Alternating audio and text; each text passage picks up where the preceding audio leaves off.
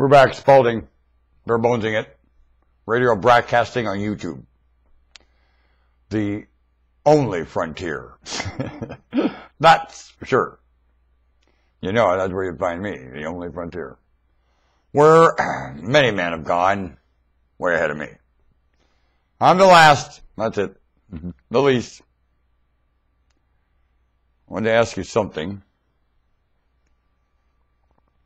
My introduction sidetracked me. Doip.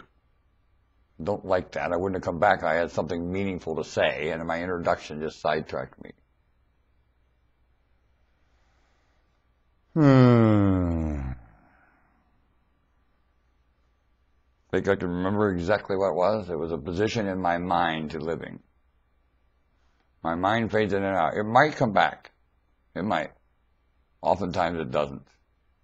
It's a position of my mind that fades in and out of living here and what you witnessed there and what you were able to remark to from witnessing there. Hmm?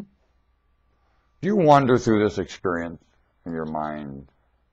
Why not? You put yourself in other people's shoes, your mind, this experience. Why not?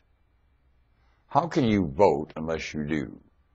There's so many positions. I couldn't vote accurately. Can I fill out a whole ballot? No. Not accurately. I wouldn't even say none of the above. I don't know any of the above. When I don't know any of them, and I haven't taken the time to put myself in that position, should I cast a ballot? Should everybody cast a ballot for a position? I'm being called. I must go. The phone is very important. I shall.